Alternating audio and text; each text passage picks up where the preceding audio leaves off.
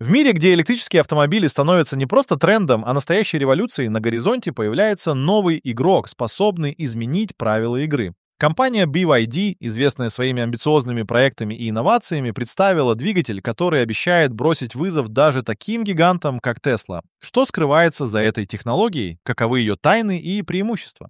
В то время как мир с замиранием сердца следит за развитием событий в индустрии электромобилей, новый двигатель BYD может стать тем самым ключом к будущему, который откроет двери к новым возможностям и вызовам.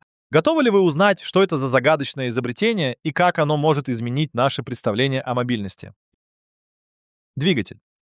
Я не в силах сдержать своего волнения. Байды представила агрегат, способный перевернуть представление о рынке электромобилей. Этот удивительный агрегат может достигать невероятных 30 511 оборотов в минуту и выдавать мощность в 580 киловатт. Но вот действительно поражает, что он не будет установлен в дорогие суперкары, как можно было бы ожидать. Вместо этого он найдет свое место в массовом сегменте, и это открывает совершенно новые горизонты для всех нас. Согласно информации от Mobile Review, этот двигатель будет установлен в таких автомобилях, как Han L и внедорожник Tang L. И вот тут начинается самое интересное. Автомобили будут обладать динамикой, которая была характерна лишь спорткарам. Представьте себе, Хан L разгоняется до 100 км в час всего за 2,7 секунды, а более крупный танк L делает это за 3,6 секунды. Удивительно, не правда ли? И все это при доступной цене.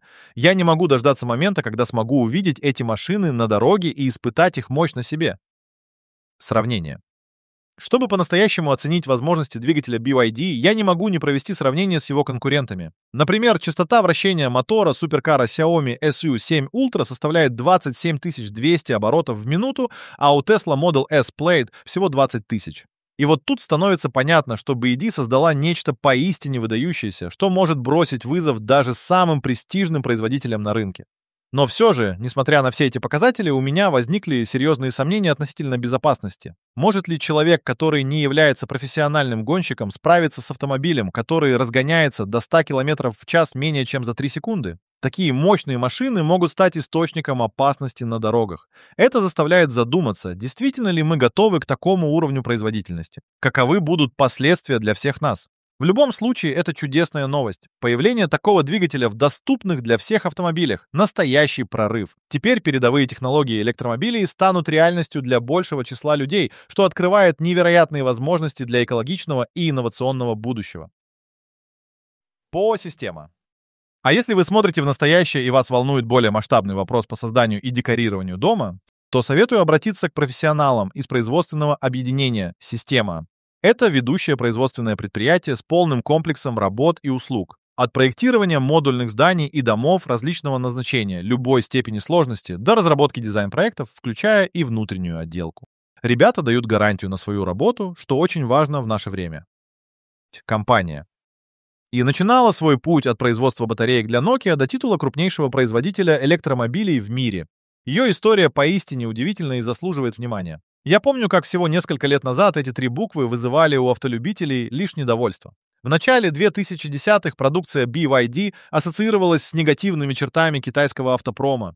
Безжалостное повторение известных моделей, низкое качество сборки, неприятный запах пластика в салоне и полное отсутствие управляемости. Но вот наступил 2022, и BYD начала бить рекорды за рекордами, заявляя о своем статусе крупнейшего производителя автомобилей на планете, оставив позади даже Tesla. Как же это произошло? Стоит отметить, что в успехе есть своя хитрость. В 2022 мировые продажи BYD превысили отметку в 641 тысячу автомобилей, тогда как Tesla смогла реализовать лишь 546 тысяч. Но вот в чем дело. Китайцы учитывают в своих показателях также подключаемые гибриды, которые составляют почти половину общего объема. В плане чистой электромобильности Tesla все еще впереди с солидным запасом. Тем не менее, команде Илона Маска не стоит расслабляться. Увеличение продаж BYD по сравнению с 2021 составило целых 315%. Нехитрая математика подсказывает, что честное превосходство не за горами. Это неудивительно, ведь компания начинала именно с изготовления АКБ. Интересно наблюдать за этой трансформацией. Основатель. Еще больше будоражит история жизненного пути Ван Чуаньфу, основателя и лидера BYD. В сердце Китая, в семье крестьянина появился на свет человек, чья история полна удивительных поворотов судьбы.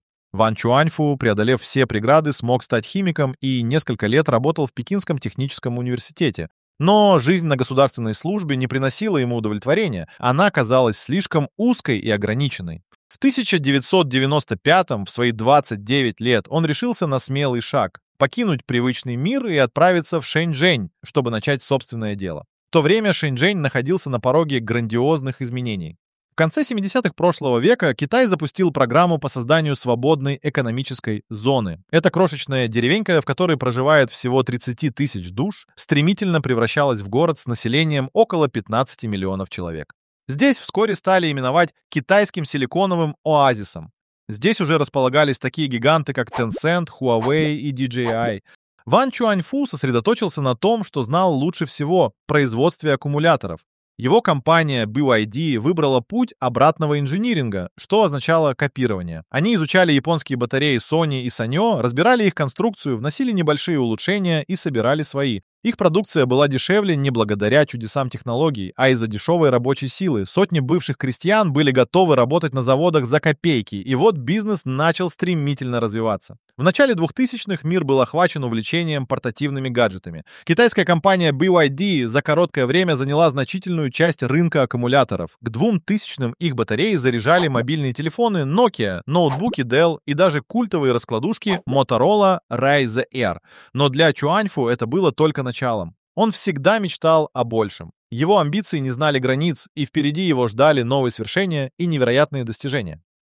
Четырехколесная авантюра.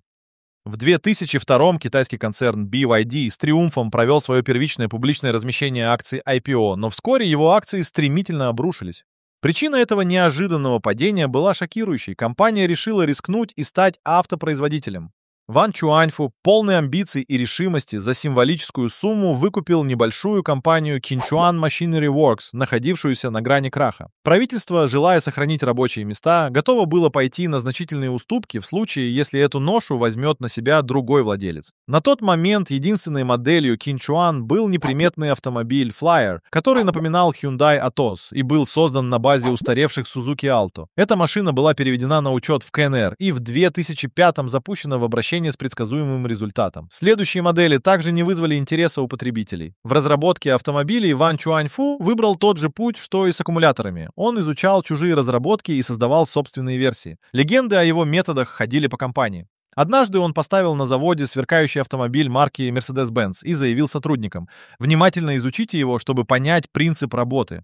Чтобы подбодрить своих подопечных, он провел ключом по кузову. Появилась царапина, это был его способ показать, что не стоит бояться экспериментов. Так родилось множество моделей, ставших олицетворением дерзости из Китая. Седан F3 был похож на Toyota Corolla, кроссовер S7 ассоциировался с Lexus RX, а малолитражка F0 была копией Toyota Aygo. Кабриолет S8 спереди выглядел как Mercedes, сзади почти не отличался от Renault Megane со складной крышей. Эти автомобили двигались на собственных моторах BYD, которые были получены тем же путем на основе разработок Mitsubishi. Однако Ван Чуаньфу не испытывал угрызений совести и успешно отражал обвинения в плагиате. Это совершенно не смущало клиентов. Если в 2005 продажи единственной модели Flyer составили всего 11 тысяч, то к 2010 BID уже выпускала полмиллиона автомобилей в год. Этот успех стал возможен благодаря широкой линейке моделей и удачному соотношению стоимости и качества. Машины BYD были значительно дешевле зарубежных аналогов и качественнее многих китайских производителей. Но даже этот триумф был для Ван Чуаньфу лишь промежуточным этапом, тренировкой для будущих свершений, наращиванием навыков перед теми грандиозными планами, которые только начинали формироваться в его голове. Подать напряжение. Представьте себе, когда еще не было и речи об электрической революции, а Тесла лишь делала первые шаги. BED совершает настоящий прорыв. Они представляют собой инновационный подключаемый гибрид – седан F3DM. Этот автомобиль, основанный на уже знакомом F3, был оснащен панелями, преобразующими солнечный свет в ток, батареей мощностью 16 кВт-часов и двумя электромоторами мощностью 34 и 67 лошадиных сил. Он мог преодолеть до 60 км на чистом электричестве, а если заряд иссякал, подключался двигатель внутреннего сгорания объемом 68 лошадиных сил. Однако эта революционная технология не оправдала ожиданий. За весь период продаж было реализовано всего 48 автомобилей, и к 2013, когда производство завершилось, общий объем проданных машин не превысил даже 3500 экземпляров. На фоне этого Ван Чуаньфу делал смелые заявления о том, что его компания вскоре станет лидером на рынке электромобилей, за которыми, по его мнению, безусловно, будущее. Многие лишь усмехнулись и забыли об этом. Но тут произошло нечто неожиданное. Знаменитый миллиардер Уоррен Баффет решает приобрести ценные бумаги BYD. Их стоимость взлетела на невероятные 2000%. Да-да, вы не ослышались? 2000%. И снова стоит отметить деловое чутье Ван Чуаньфу. Осознав, что рынок легковых электромобилей еще не готов к массовому внедрению, он ловко переключился на госзаказ. В то время правительство Китая вкладывало деньги в развитие электрического транспорта, и BID быстро освоило производство электрических автобусов, грузовиков и погрузчиков. К 2013-му компания начинает отходить от наглого копирования иностранных брендов и запускает совершенно новую линейку автомобилей под названием «династические», названные в честь исторических китайских правителей Чин, Сонг, Танг и так далее. Большинство из них уже работают на гибридной или полностью электрической тяге. У марки появляется свое лицо. Но продажи все еще колебались вокруг 400-500 тысяч единиц техники ежегодно до 2020 -го. Тем не менее, китайский бизнесмен снова проявил свою проницательность. В 2017-м должность шеф-дизайнера компании BYD занял Вольфганг Эггер. Человек с богатым опытом работы в Audi и Seat, создатель потрясающего купе Alfa Romeo 8C Competizione. Спустя два года после этого события компания открывает глобальный дизайн-центр, куда приглашены талантливые специалисты из Audi, Mercedes-Benz и Ferrari. Вот в 2020-м, несмотря на пандемию, начинается захватывающая глава истории компании. Революция наших дней. Ключевые моменты актуального модельного ряда BYD. Под руководством Вольфганга Эггера и его талантливой команды серия автомобилей претерпела удивительное преображение, а также была представлена новая океанская линейка.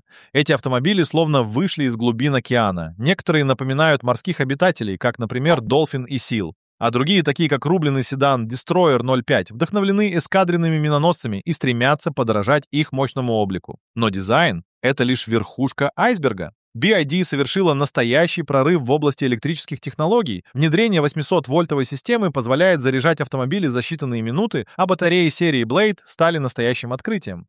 Китайским инженерам удалось эффективно разместить энергетические ячейки, что их вместимость почти не уступает традиционным литий-ионным батареям, при этом они значительно дешевле. И вот мы достигли апогея этой захватывающей повести. Сначала BYD начала производить аккумуляторы, затем научилась собирать автомобили, и теперь она стала единственной компанией в мире, которая производит электромобили по полному циклу. Даже Tesla вынуждена приобретать АКБ у сторонних поставщиков, среди которых в ближайшем будущем может оказаться и BYD. Забавно, Маск с недоверием отзывался о BYD. Вы видели их машины? Не думаю, что у них есть хороший продукт. Машины выглядят не очень эстетично, а технологии оставляют желать лучшего.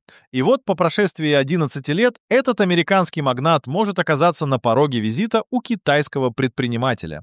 В отличие от Маска, Ван Чуаньфу — человек скромный и сдержанный. Он одет в униформу BYD с выцветшей фотографией на бейджике. Он не торопится тратить деньги на дорогие вещи и не стремится к роскоши. Существует мнение, что кто-то из членов делегации посоветовал ему обновить гардероб. Что сделал Чуаньфу? Приобрел дешевую рубашку в ближайшем магазине. Это история о постепенном развитии. От копирования чужих разработок до создания собственных шедевров. Компания может долго оставаться незаметной, накапливая потенциал для внезапного рывка вперед. И этот момент настал. В 2021 продажи взлетели на отметку в 730 тысяч авто, весной 2022 BID полностью отказалась от бензиновых автомобилей, в линейке остались только гибриды и электрокары, а если темпы сохранятся, то к концу текущего периода компания может достичь полутора миллионов проданных автомобилей. Но это еще не все. BID готовится к выходу на международные рынки, планируется увеличить долю экспорта до 30%. Скоро начнется сборка автомобилей в Узбекистане. Оттуда они с большой долей вероятности попадут и в Россию. Есть все основания полагать, что это будет гораздо результативнее предыдущей. Итак, с каждым новым шагом BYD приближается к своей цели — стать лидером в области электрического транспорта. И кто знает, какие еще удивительные открытия ждут нас впереди. Время покажет, но одно можно сказать точно. Мы находимся на пороге новой эры в автомобильной промышленности, где BYD будет играть ключевую роль. Оставайтесь с нами, будущее уже здесь.